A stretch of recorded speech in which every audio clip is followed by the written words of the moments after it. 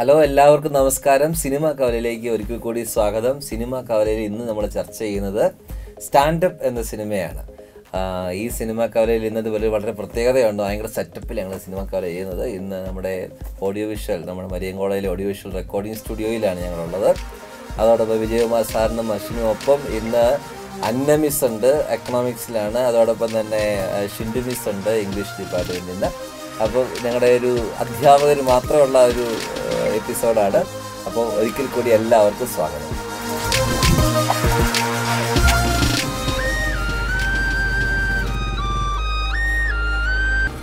എടാ നീ എന്ത് ചെയ്യുന്നതാണ്? നീ എന്നോട് കനപ്പിക്കല്ലേ വിധു വിൻസെന്റിന്റെ സ്റ്റാൻഡപ്പ് എന്ന സിനിമ വാസ്തവം പറഞ്ഞാൽ ഒരു പുതുമയുള്ളത് എന്ന് പറയാൻ കഴിയില്ല. പുതുമയുള്ളത് എന്ന് പറയാൻ കഴിയില്ലെങ്കിൽ തന്നെയും ഇത് വളരെ ശക്തമായ ഒരു പ്രമേയമാണ് കൈകാര്യം ചെയ്യുന്നത്. ഈ പ്രമേയം സിനിമയിൽ ഇന്ത്യൻ സിനിമയിൽ ലോക സിനിമയിൽ നേരത്തെ തന്നെ പല ആളുകളും വളരെ ശക്തമായിട്ട് കൈകാര്യം ചെയ്യുന്ന ഒരു വിഷയമാണ്. പക്ഷെ എന്തുകൊണ്ടാണ് ഈ സിനിമ ആ സിനിമകളിൽ നിന്നെല്ലാം വേറിട്ട് നിൽക്കുന്നു എന്ന് ചോദിച്ചാൽ ഇതിലെ നായിക പറയാനുള്ളതെല്ലാം പറയുന്നു എന്നുള്ളതാണ്. കാരണം ഒരു ഒരു ഒരു സിനിമയിലും ഒരുപക്ഷെ നായികയ്ക്ക് അവരുടെ ഭാഗം കൃത്യമായിട്ട് അവരുടെ ഭാഗം വളരെ തന്മയത്തോടുകൂടെ പറയാൻ കഴിഞ്ഞിരുന്നില്ല എന്നുള്ളതാണ്. ഈ സിനിമയിൽ അങ്ങനെയല്ല. നായിക ഒതുങ്ങി നായിക ഒതുങ്ങി നിൽക്കുന്ന ഒരാളൊന്നുമല്ല അങ്ങനെ ഒതുക്കാൻ ആരും ശ്രമിക്കണ്ട. കുടുംബമാണ് ആദ്യം നായികയെ ഒതുക്കാൻ ശ്രമിക്കുന്നത്. കാരണം ഒരു റേപ്പ് ഒരു ബലാത്സംഗം സംഭവിച്ചു കഴിഞ്ഞാൽ അത് കുടുംബത്തിന് ഒരു അപമാനം എന്നുള്ള നിലയിലാണ് കാണുന്നത്. വീട്ടുകാർ തന്നെ അച്ഛനും അമ്മയും കാണുന്നത് അതുപോലെയാണ്. ഇനിയും മാറിയിട്ടില്ല. ഇനി മാറിയിട്ടില്ല. അത് അതിൽ നിന്ന് വ്യത്യസ്തമായിട്ട് ഒരു ഇരയല്ല. നമ്മളിപ്പോൾ പൊതുവേ പറയുന്നത്? ബലാത്സംഗത്തിന് വിധേയമായി കഴിഞ്ഞാൽ ഇരയായ ഇരയായി. എന്നാണ് പറയുന്നത്. ഇരയല്ല വാസ്തവത്തിൽ. ഈ സിനിമ അടിവരയിട്ട് പറയുന്ന ഒരു തീം അതാണ്. അതായത് ഒരു ബലാത്സംഗം ചെയ്യപ്പെട്ട അത് വെച്ചാൽ ഒരു ക്രൈമാണ് ഒരു സ്ത്രീക്കെതിരെ ഒരു ക്രൈം കമ്മിറ്റ് ചെയ്തിരിക്കുന്നു. അതിനെ നമ്മൾ ഇര അവൾ ഒരു ഇരയായി എന്ന് പറയുന്നതല്ല ശരി. അവൾ ബോ- വളരെ ബോൾഡായിട്ട് അതിനെ അതിജീവിക്കുന്ന ഒരാളായിട്ടാണ് ഈ സിനിമയിൽ ചിത്രീകരിക്കുന്നത്. ഇരയല്ല വിക്ടിം അല്ല ഇതിൽ വരുന്ന സ്ത്രീ എന്ന് പറഞ്ഞാൽ വളരെ ബോൾഡായിട്ടുള്ള ഒരു സ്ത്രീയാണ്. ആ സ്ത്രീ ഒരു സർവൈവറാണ് അതിനെ അടിവരയിട്ട് പറയുന്ന നല്ല ഒരു പ്രമേയമുള്ള ഒരു സിനിമയാണ് എന്ന് എനിക്ക് തോന്നുന്നു. സീമ അവതരിപ്പിക്കുന്ന ഒരു ഡോക്ടറിന്റെ ഒരു കഥാപാത്രം പറയുന്ന ഒരു ഡയലോഗ് ഉണ്ട് it is like any other crime so it is like any other crime അല്ലാതെ ഒരു വ്യക്തിയെ ഒരു സ്ത്രീയെ അല്ലെങ്കിൽ ഒരു വ്യക്തിയെ ഒരു റേപ്പ് കൊണ്ട് ആ വ്യക്തിത്വം ഇല്ലാതാവുന്നില്ല. യാതൊരു കാരണവശാലും ആ വ്യക്തിത്വം ഒരു ക്രൈം നടന്നു എന്നുള്ളത് കൊണ്ട് ഇല്ലാതാവുന്നില്ല. അതിനുമപ്പുറം അത് അതിനും അപ്പുറം അത് അതിന് ശേഷം ഒരു ജീവിതമുണ്ട്. പലപ്പോഴും നമ്മൾ കാണുന്നത് ഒരു ക്രൈം നടന്നാൽ പ്രത്യേകിച്ച് ഒരു റേപ്പ് നടന്നു കഴിഞ്ഞാൽ ആ ഒരു വിക്റ്റിമാണ് യാതൊരു കാരണവശാലും ആ വ്യക്തിക്ക് ഒരു ജീവിതം സ്ത്രീക്ക് പിന്നീട് ഒരു ജീവിതമുള്ളതായിട്ട് ആ എങ്ങനെ ജീവിതം വളരെ ശക്തമായി മുന്നോട്ട് സിമ്പതിയുടെ സിമ്പതി എല്ലാവരും എന്തുകൊണ്ട് ആ മരിക്കുന്നതായിരുന്നു ഇതിലും ഭേദം എന്നുള്ള ചോദ്യങ്ങളാണ് പലപ്പോഴും പല കഥകളിലും മരിച്ചു പോയ കേസസ് ഉണ്ടെങ്കിൽ നമ്മൾ പറയും നന്നായി. ജീവിച്ചിരുന്നെങ്കിൽ അപമാനം. അതെ കുടുംബത്തിന് മരിച്ചുപോയ നന്നായി എന്ന് പറയുന്നതിൽ നിന്ന് വ്യത്യസ്തമായിട്ട്. ജീവിച്ച് കാണിച്ചു കൊടുക്കാൻ തീരുമാനിക്കുന്ന ഒരു കഥാപാത്രത്തെയാണ് നമ്മൾ കാണുന്നത്.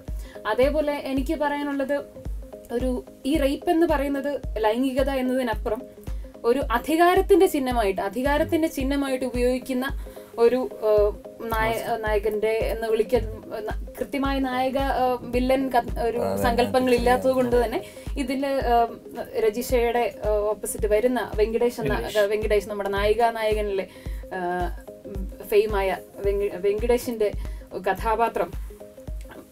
അധികാരത്തിന്റെ ചിഹ്നമായിട്ടാണ് ഈ റേപ്പിനെ ഉപയോഗിക്കുന്നത്. എന്ത് പഠിക്കണം? അവളുടെ ആഗ്രഹങ്ങൾ അവൾ ആരായി തീരണം എന്നുള്ള ചെറുപ്പത്തിലേ ഉള്ള ആഗ്രഹങ്ങൾ പോലും പുറത്തു വരാൻ പറ്റാത്ത അവസ്ഥ.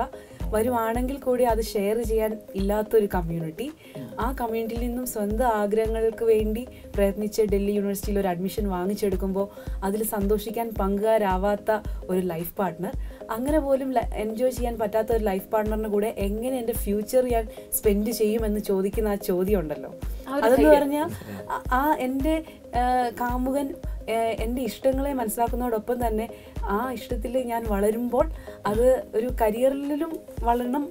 അങ്ങനെ അതിനെ അംഗീകരിക്കാൻ പറ്റാത്ത ആൾക്ക് എങ്ങനെ എന്റെ കൂടെ ഒരു ഫ്യൂച്ചർ ലൈഫ് ഡിസൈഡ് ചെയ്യാൻ പറ്റും? എന്റെ കല്യാണം എങ്ങനെ തന്നെ തന്നെ സ്വയം തീരുമാനിക്കാൻ പറ്റുമെന്ന് ആ കുട്ടി ചോദിക്കുമ്പോൾ അതിലൊരു വലിയ ചോദ്യമാണ് കിടക്കുന്നത്. മാത്രമല്ല ഇതിന് ശേഷം വരുന്ന ജീവിതത്തിലെ ഏറ്റവും വലിയ പ്രതിസന്ധി വന്നതിന് ശേഷവും പുള്ളിക്കാരത്തീനെ സപ്പോർട്ട് ചെയ്യുന്ന ഉള്ള കമ്മ്യൂണിറ്റി എന്ന് പറയുന്നത് നേരത്തെ തെറ്റിദ്ധരിക്കപ്പെട്ട പലരും തിരിച്ചു പറയുകയാണ്. കൂടെ നിൽക്കാനായിട്ട് അവരവരുടെ സ്റ്റാൻഡ് മാറ്റി they are standing for the right theme അങ്ങനെയാണ് ആ ഒരു തീം ആ ഒരു തീം സ്റ്റാൻഡ് അപ്പ് എന്ന് പറയുന്നത് ഉരുത്തിരിഞ്ഞു വരുവാണ്. ചിലപ്പോൾ ആദ്യം കൂടെ നിൽക്കാൻ അവർക്ക് ആർക്കും സാധിച്ചില്ലായിരുന്നിരിക്കാം. എങ്കിലും ഇങ്ങനെ ഒരു അവസ്ഥയിൽ കാരണം ഇത് പല കാലഘട്ടത്തിലും ഉണ്ടായിട്ടുള്ള ഒരു ഇഷ്യൂ ആണ്. അപ്പൊ ഈ ഒരു കാലഘട്ടത്തിലും ഇത് ഉണ്ടായിക്കൊണ്ടിരിക്കുന്നു. പക്ഷേ how can we change the attitude towards the same problem how could be the stand for that stand up ഇതിൽ വേറൊരു പ്രത്യേകത എനിക്ക് തോന്നിയിട്ടുള്ളത്. ഇതിൽ പിന്നെ മാനഭംഗം ചെയ്ത ആളുടെ സഹോദരി തന്നെയാണ് ഈ മാനഭംഗത്തിനെ സംബന്ധിച്ചുള്ള വിവരങ്ങളെല്ലാം ശേഖരിച്ച് കോടതി വരെ കൊണ്ടെത്തിക്കുന്നത് ആ സ്ത്രീയാണ് സഹോദരിയാണ്. നിമിഷയുടെ കഥാപാത്രം. അതെ നിമിഷയുടെ കഥാപാത്രം. വീട്ടിൽ നിന്ന് സ്വയം അവിടെ വീട്ടിൽ നിന്ന് ഇറങ്ങിപ്പോകാൻ അച്ഛൻ പറയുന്നത്. പക്ഷെ ഇറങ്ങിപ്പോകാൻ പറയുമ്പോഴും അദ്ദേഹത്തിന്റെ മനസ്സിൽ നീ അനുസരണയോടുകൂടെ ഇവിടെ നിൽക്കണം എന്ന് മാത്രമാണ് അദ്ദേഹം ഉദ്ദേശിച്ചത്. പക്ഷെ അവൾ വളരെ ധൈര്യപൂർവം വീട്ടിൽ നിന്ന് ഇറങ്ങി പോവുകയാണ് ചെയ്യുന്നത്. ശരിക്കും അതിന്റെ കഥാ കാര്യങ്ങളെല്ലാം ചിന്തിക്കും നമുക്ക് കഥയിലേക്ക് ഒരുപാട് നമുക്ക് ഇറങ്ങാൻ പറ്റത്തില്ല. കാരണം സിനിമ അവലോകനം ചെയ്യുമ്പോൾ നമുക്ക് ഒത്തിരി ഡീറ്റെയിൽസ് പറയാൻ പറ്റില്ല. എങ്കിൽ പോലും ഈ ടെക്നിക്കൽ കാര്യങ്ങൾ ചിന്തിച്ച് കഴിയുമ്പോൾ അത്ര അങ്ങോട്ട് സക്സസ് ആണെന്ന് അറിയത്തില്ല. പലപ്പോഴും നമുക്ക് ബോറടിക്കുന്നുണ്ട് അഭിനയത്തെക്കുറിച്ച് എനിക്ക് അശ്വിൻ കുറച്ച് സംസാരിക്കും തോന്നുന്നു. പക്ഷെ ടെക്നിക്കൽ കാര്യങ്ങളിൽ അത്ര അങ്ങ് പെർഫെക്റ്റ് ആയിട്ടൊരു മൂവി എന്ന് പറയുന്നത് ക്യാമറ കാര്യമായിട്ടൊന്നും ചെയ്തിട്ടില്ല.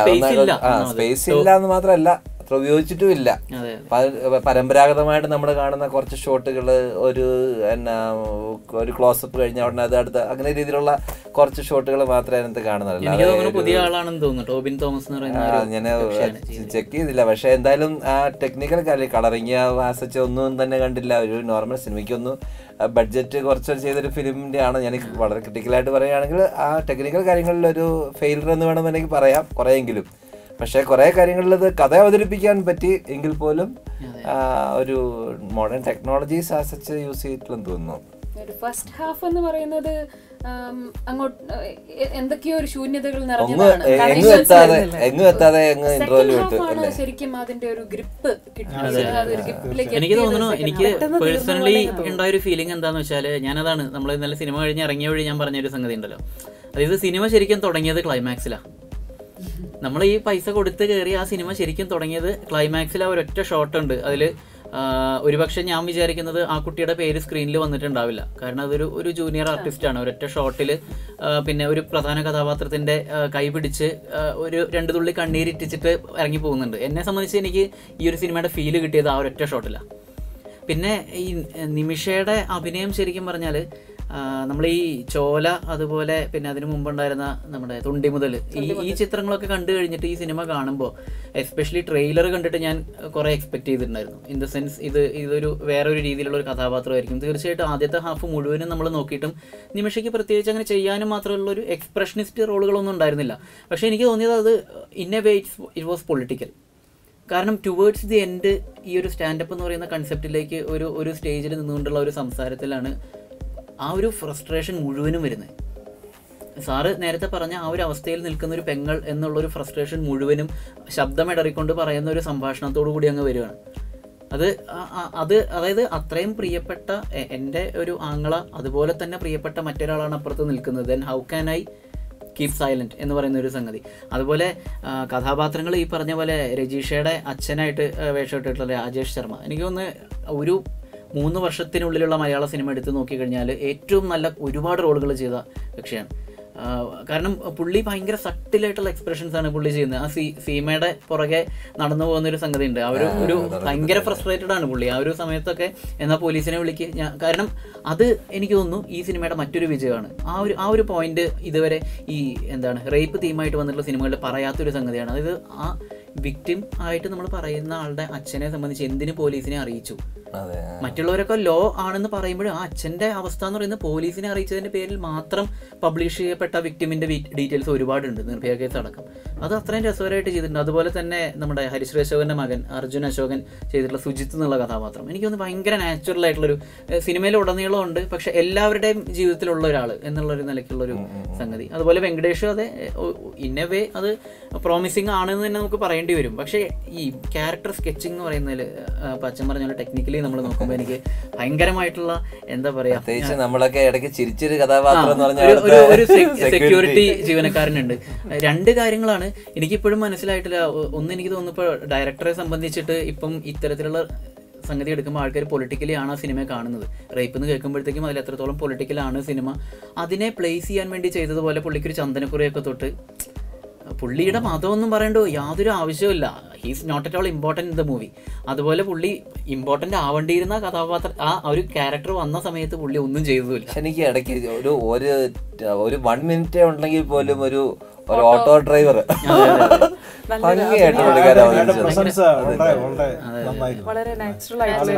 പിന്നെ ഈ ടൈറ്റിലും അതെ. ഇപ്പം മിസ് പറഞ്ഞ പോലെ എനിക്ക് എനിക്ക് ഒരു കാര്യം തോന്നിയത് രണ്ട് തരത്തിൽ ആ ടൈറ്റിൽ നമ്മളോട് കമ്മ്യൂണിക്കേറ്റ് ചെയ്യുന്നുണ്ട്. ഒന്ന് it is a revelation or it is an inspiration to stand up for justice നമ്മൾ എഴുന്നേറ്റ് നിന്ന് ജസ്റ്റിസിന് വേണ്ടി പോരാടേണ്ട സമയമായി എസ്പെഷ്യലി ഇപ്പം പിന്നെ ക്യാബ് ആക്ടിന്റെ പേരിൽ ഇത്തരം പ്രശ്നങ്ങൾ നിലനിൽക്കുന്ന ഒരു സമയത്ത് വളരെ റിലവൻസ് ഉണ്ട്. രണ്ടാമത്തെ ഒരു റീഡിങ് എനിക്ക് തോന്നിയത് ഇത് ഇത്രയും കാലമായിട്ടും എഴുന്നേറ്റ് നിൽക്കാത്ത ആളുകളിൽ പെട്ടതാണ് ഇപ്പം ഈ രജീഷയുടെ അച്ഛനും പിന്നെ ഈ പറയുന്ന വെങ്കടേഷ് അടക്കമുള്ള ഒരുപാട് കഥാപാത്രങ്ങൾ. അപ്പം അവർ അവർ മറ്റൊരു പാരലൽ ലോകം ഈ സ്റ്റാൻഡപ്പ് എന്നുള്ളൊരു കൺസെപ്റ്റിനോട് ചേർന്ന് നിന്നുകൊണ്ട് ഇതിനെ ഫൈറ്റ് ചെയ്ത് ജസ്റ്റിസ് കയ്യിൽ പിടിച്ച് മുന്നിൽ നിൽക്കുന്ന സമയത്ത് അത് കണ്ട് എഴുന്നേറ്റ് നിന്ന് കൈയടിച്ചു പോകുന്ന ഒരു സമൂഹമുണ്ട്. അതാണ് ഇനി വരാനിരിക്കുന്ന ഒരു സമൂഹം കോൺസെപ്റ്റിലേക്ക് വരുമ്പോഴത്തേക്ക് ഇതിലെ സംവിധായിയെ കുറിച്ച് പറയാതിരിക്കാൻ ഓർമ്മയില്ല. ഇതിലെ സംവിധായിക വളരെ കൃഷഗാത്രയായിട്ടുള്ള എന്നാൽ വളരെ സ്ട്രോങ് ബിൽഡ് ആയിട്ടുള്ള ഒരു കഥാപാത്രം. സാറിന് നേരിട്ട് പരിചയമുള്ള ആളാണ്. എനിക്ക് നേരിട്ട് പരിചയമുള്ള ആളാണ്. ഞാൻ സി ഡിറ്റിലെ കോഴ്സ് ഡയറക്ടർ ആയിരുന്നപ്പോഴത്തേക്ക് അവിടെ കോഴ്സ് കംപ്ലീറ്റ് ചെയ്ത ആളാണ് ഈ ഇയാൾ വിധു വിൻസെന്റ് അന്ന് തന്നെ ഭയങ്കര ഫൈറ്റിംഗ് സ്പിരിറ്റ് ഉള്ള ഒരു കുട്ടിയായിരുന്നു. ഏഷ്യാനെറ്റിൽ വർക്ക് ചെയ്തുകൊണ്ടിരിക്കുന്ന അവസരത്തിലാണ് തോട്ടികളുടെ കുറിച്ചുള്ള ഒരു ഡോക്യുമെന്ററി ഉണ്ടാക്കുന്നത്. അതിന് അവാർഡ് കിട്ടുകയും ചെയ്തു. അത് വളരെ പെയിൻ സ്റ്റേക്കിംഗ് ആയിട്ട് എടുത്തിട്ടുള്ള ഒരു ഡോക്യുമെന്ററിയാണ് ആ ഡോക്യുമെന്ററിയുടെ എക്സ്റ്റൻഷനാണ് മാൻഹോൾ എന്ന് പറയുന്നത്. അപ്പോൾ എപ്പോഴും ജസ്റ്റിസിന് വേണ്ടി നിരന്തരം പോരാടിക്കൊണ്ടിരിക്കുന്ന വളരെ ഉശിരുള്ള ഒരു വനിതയാണ് ഈ വിധു വിൻസെന്റ് എന്ന് പറഞ്ഞത് ഒറ്റ ഒരു സജഷൻ നമുക്ക് തോന്നിയത് ഈ പറഞ്ഞ പോലെ ഇത്തരം തീമുകൾ അവതരിപ്പിക്കുന്ന സമയത്ത് നമ്മളിപ്പം ഐക്കോണിക് ആയി പോകുന്നുണ്ടോ മലയാള സിനിമ എന്നുള്ളത്? ഈ സിനിമയ്ക്കുള്ള ഏറ്റവും വലിയൊരു വിജയം സത്യത്തിൽ സിനിമയുടെ ഉള്ളിലല്ല ഇരിക്കുന്നത് സിനിമ കണ്ട് തിയേറ്റർ വിട്ട് കഴിഞ്ഞിട്ടാണ് നമ്മൾ ഡിസ്റ്റർബ്ഡ് ആയിക്കൊണ്ടിരിക്കുകയാണ്. എനിക്ക് തിരിച്ച് ഇവിടെ നമ്മൾ ഉണ്ടക്കയത്തുനിന്ന് ഇവിടം വരെ എത്തുന്ന സമയത്ത് വരെയും ചിന്തിച്ചുകൊണ്ടിരുന്ന് ശരിക്കും ഇങ്ങനെ ഒരു കാര്യം ഉണ്ടായാൽ എന്താണ് അവസ്ഥ എന്നുള്ളതാണ്. ഈ സിനിമയുടെ തിരക്കഥ എന്ന് പറയുന്നത് എന്റെ ആംഗ്ലയുടെ സുഹൃത്തു കൂടിയായ ഉമേഷ് ഓമനക്കുട്ടനാണ്. കഥാപാത്രങ്ങളുടെ ചില നിലപാടുകൾ വ്യക്തമാക്കാനുള്ള കുറിക്കുകൊള്ളുന്ന ചില സംഭാഷണങ്ങളെങ്കിലും ഇതിൽ ഉൾക്കൊള്ളിക്കാൻ ഉമേഷിന് സാധിച്ചിട്ടുണ്ട്. അത് സന്തോഷമുള്ള ഒരു കാര്യമായി തോന്നുകയും ചെയ്തു. പിന്നെ ഒരു കാര്യത്തിൽ എനിക്ക് അശ്വിൻ സാറുമായിട്ട് ചെറിയ വ്യത്യാസം വിയോജിപ്പ്. തോന്നിയത്. ഒരു ചെറിയ വിയോജിപ്പ് തോന്നിയത് ഐക്കോണിക് ആയി പോയി എങ്കിൽ പോലും രജിഷ ആ ഒരു കഥാപാത്രത്തോട് വളരെ നീതി പുലർത്തിയിട്ടുണ്ട് എന്നുള്ളത് ശക്തമായും ആ ഒരു കഥാപാത്രത്തെ സട്ടിലായിട്ട് ഒരു ഓവർ ആക്കാതെ അതിനെല്ലാ സാധ്യത ഓവറാകാനുള്ള എല്ലാ സാധ്യതയും ഉള്ള ഒരു കഥാപാത്രം വളരെ രജിഷയുടെ കൈകളിൽ വളരെ ഭദ്രമായിരുന്നു എന്ന് തന്നെ പറയാം എനിവേ നിങ്ങൾ എല്ലാവരും സിനിമ ആണ് നല്ല സിനിമയാണ്. ടെക്നിക്കൽ ഇച്ചിരി പ്രോബ്ലം ഒക്കെ ഞാൻ പറഞ്ഞെങ്കിലും അത് അതിൽ തന്നെ വലിയ പ്രശ്നമല്ല. എല്ലാവരും സിനിമ കാണണം. വീണ്ടും അടുത്ത സിനിമയുമായി അടുത്ത എപ്പിസോഡ് നമ്മൾ കണ്ടുമുട്ടും. വീണ്ടും സന്ധിക്കും വരെ വണക്കം.